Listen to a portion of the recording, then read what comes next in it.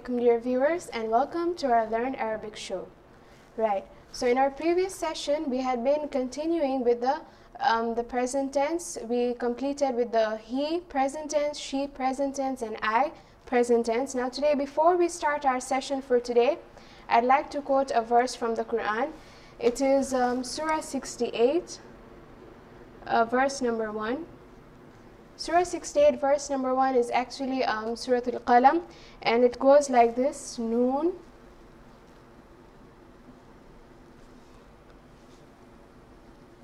والقلم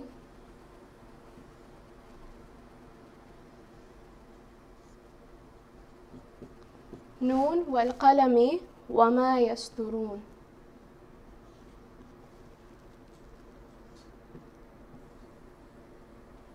وما يسترون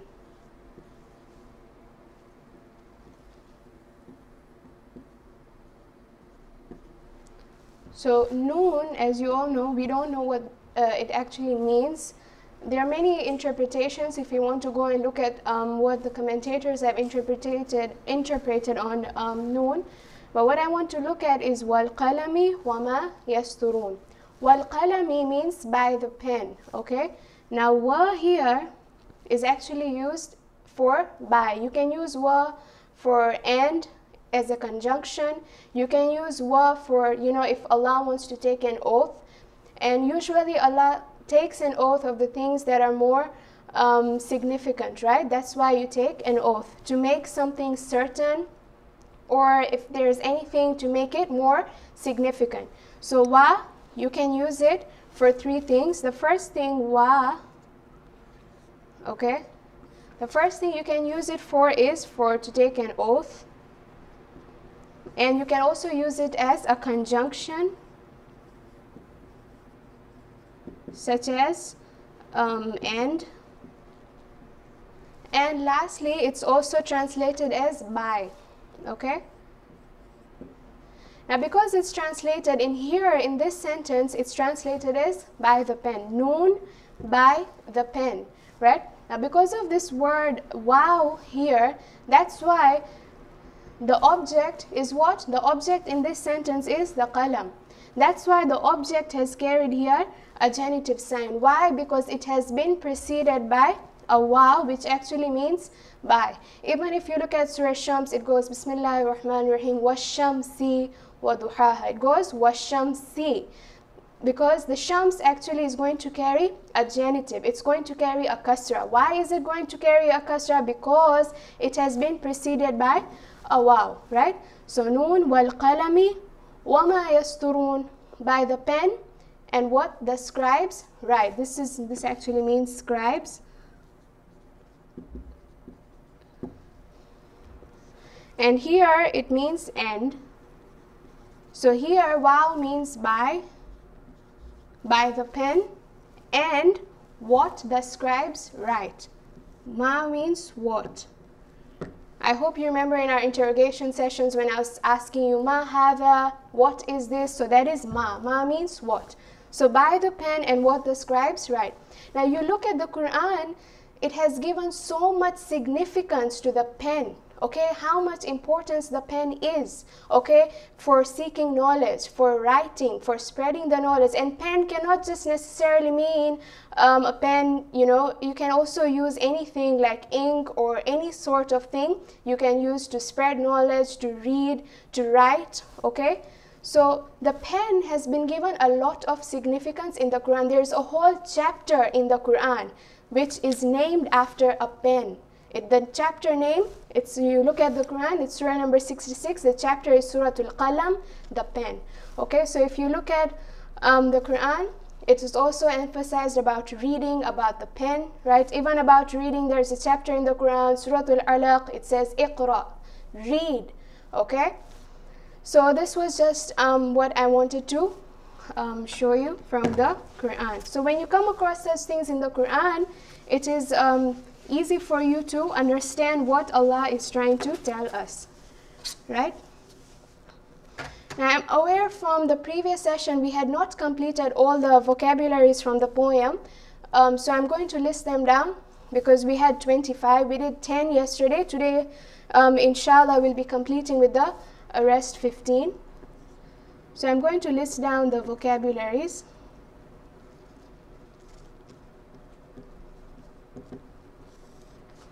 right? The first we have is nahar.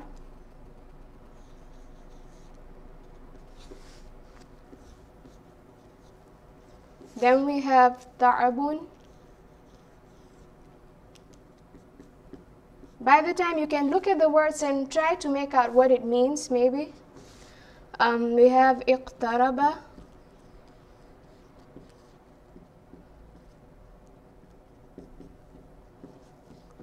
Um, then we have غردun.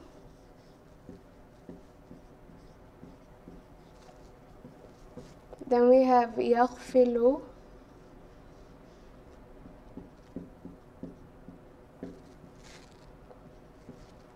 Followed by ضيم.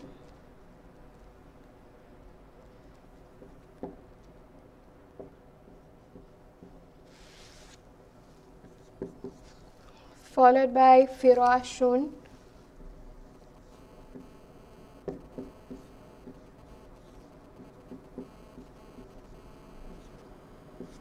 um, we have habibun.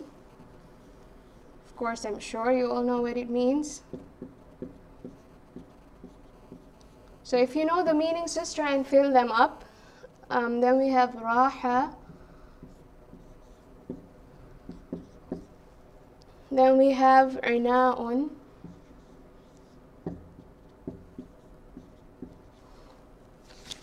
Okay, then we have Amanun.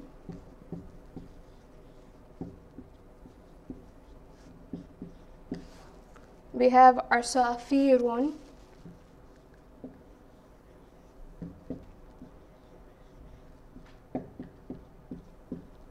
Right? They cannot all fit here, so I'm just going to go through these words, then um, give you the meanings, rub it off, and we'll continue with the rest um, three. So we have the word naharun.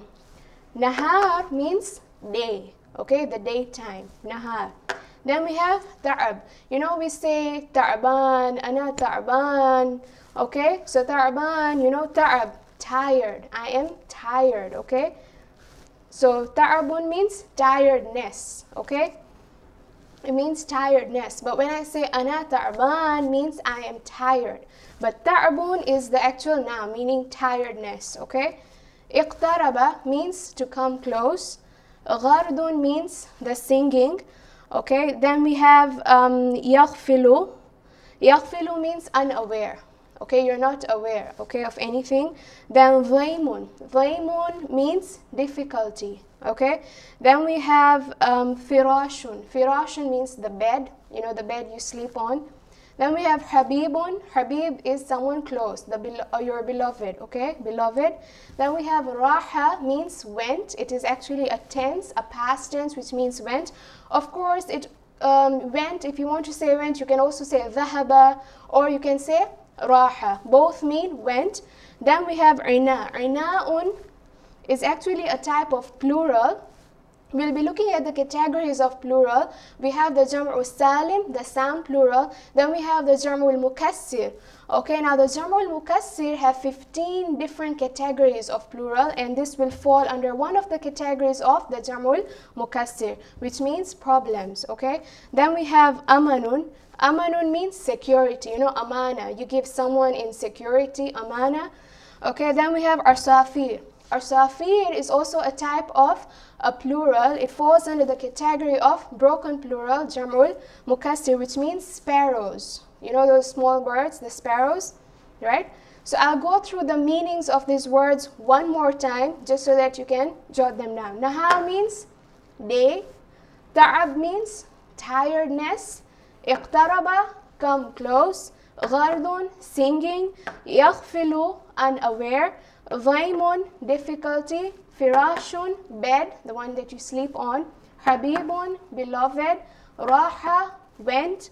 Ina'un, um, the, the problems. Amanun, security. Then we have Arsafir, which means sparrows. Now we'll do some sort of interrogation, right? I hope you remember our interrogation class. So I'll ask you, أهذا نهار? is this nahar? You will say لا هذا فراش. What if I ask you أهذا نهار? You will say نعم هذا نهار. أهذا um, أهذا حبيب؟ نعم هذا حبيب. أهذا أمن؟ لا هذا عناء. Okay, I hope you remember our interrogation. I will complete with the very few vocabularies that are left. Um, then we will begin with our topic for today.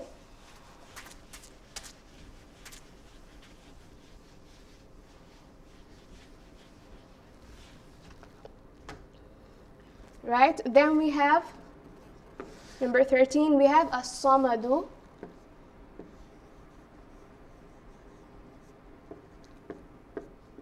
As-samadu means omnipotent, right?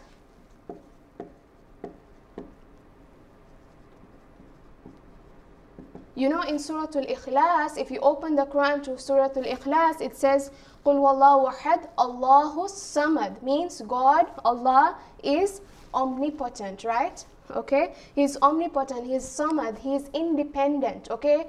We depend on him, but he cannot depend on anyone because he is omnipotent, right? So we have as-samad. Um, then we have sihrun, uh, sahrun. Sahrun means the dawn time. Okay, and then lastly we have Bari'ul Bashar. So we have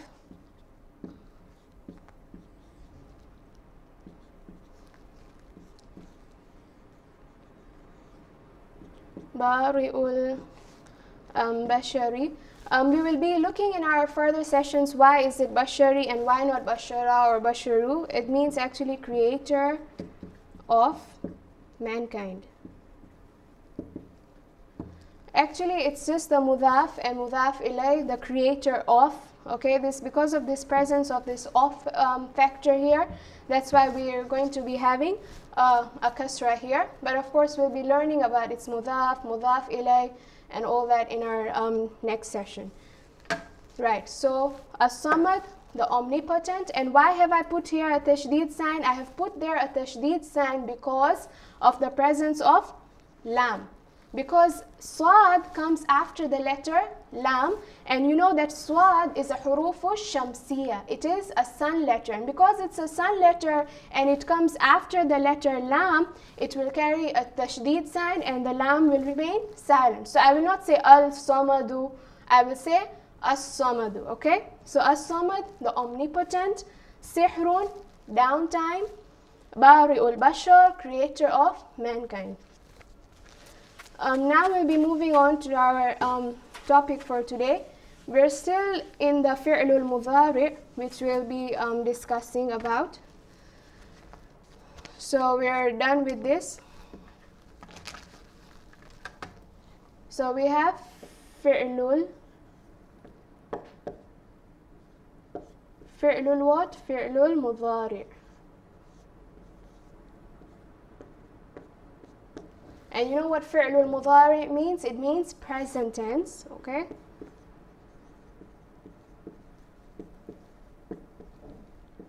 It's good to know the Arabic as well because I can just come here and start fi'lul mudari and you will not know what I'm talking about. So you should know that this means present tense, right?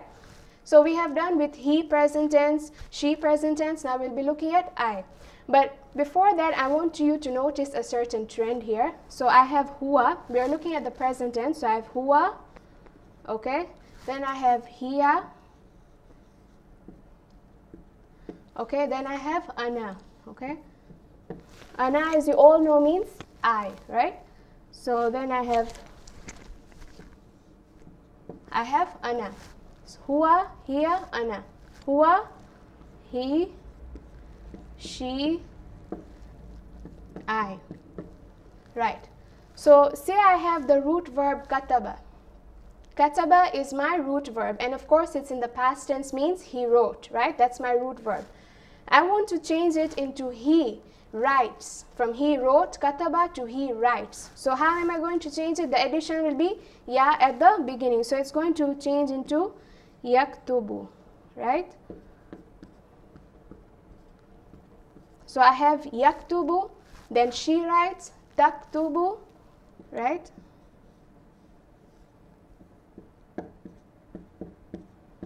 Then I write aktubu.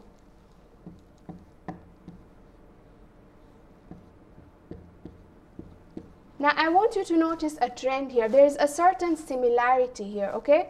So we have yaktubu, taktubu, aktubu. What is similar here? You notice that um, the kaf here carries a jussive. First letter carries a jussive. Second thing that is similar is what? The last letter will always carry a dhamma. And the third thing that is um, similar is that the addition is always taking place at the beginning. So the addition at the beginning, the first letter has a jussive, okay, and the last letter has a nominative, same thing.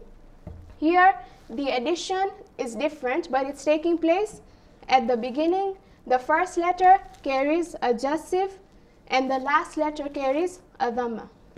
So this is the similarity that you will see in the present tense. But however, I had said that there are a few special cases which will not follow this trend.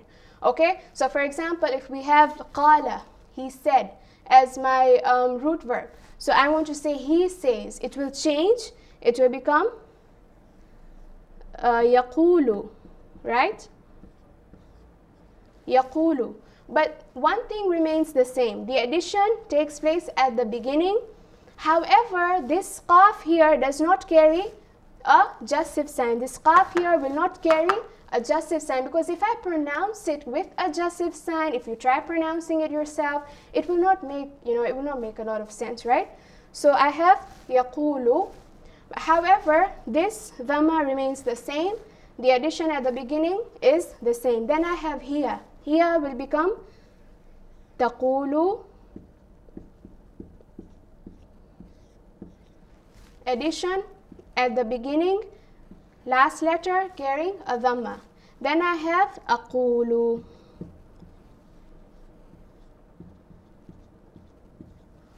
The addition at the beginning, the last letter carrying a dhamma, right? Let's look at another example. See, I have hajja, okay? Hajja means he performed hajj. But what if I want to say he performs hajj? So it will become Yahijju, it will not be the follow the same trend. Yahijju, okay. Then tahijju, then ahijju, okay. So this is how it's going to um, follow the trend. Say I have nadara. Nadara, he saw. Now I want to change it into he sees. It's going to change into yanzuru.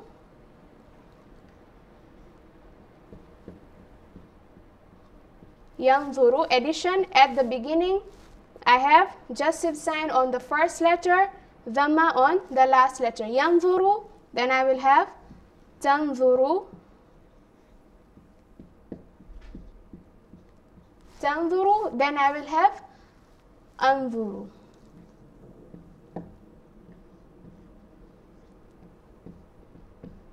So this is how it will take its course. Now quickly we will just look at the nahnu, okay? We will just quickly look at nahnu.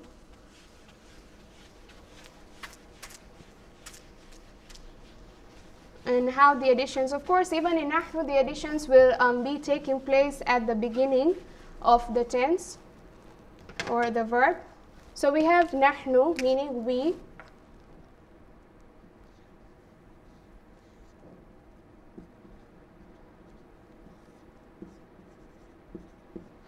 right so we in the present tense right so say my root verb my root verb say it is jalasa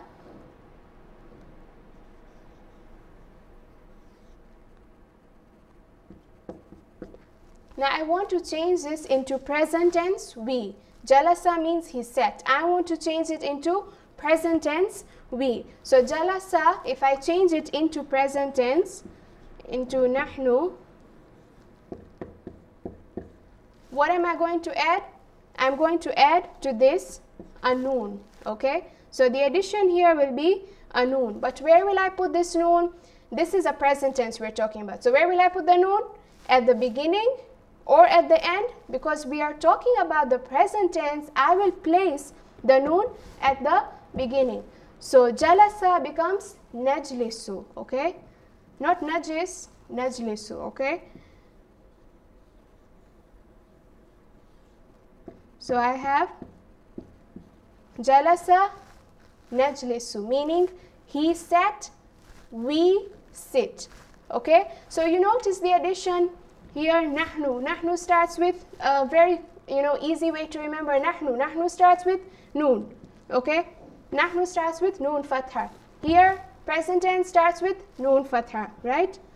So this is just a quick way to remember. If I say nanzuru najlisu naqumu naqulu, you know that we're talking about we, and you know that we're talking about the present tense, right? Not the past tense. Okay. So jalasa najlisu. What about hajja? Okay. Hajja same. I will add noon it will become nahijju. Okay.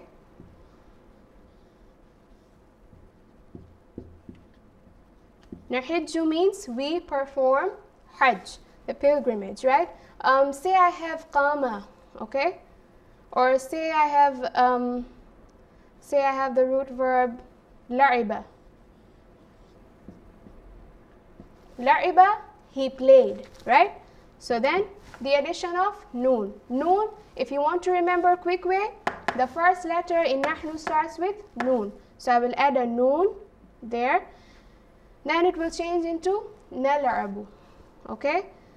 So I have so I have nal'abu. Okay? Jalasa najlisu. Hajja nahijju. If it's farra nafirru la'iba nal'abu okay so this is how um, these tenses will actually take their um, format we'll be looking at other further pronouns you know then we have finished with he and she and the I and the we. Then we'll be going to, you know, anta, anti, antuma, antum. We'll be looking at all those um, pronouns. So this sums up our class for today. Inshallah, we'll meet um, same channel, same time. So don't forget to tune in. Fiamanila, and have a nice day.